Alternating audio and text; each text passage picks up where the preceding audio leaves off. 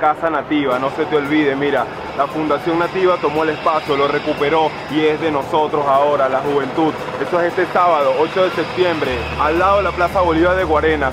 No se te olvide, toma el control de tu lugar, toma el control de tu patio. Allá nos vemos el sábado.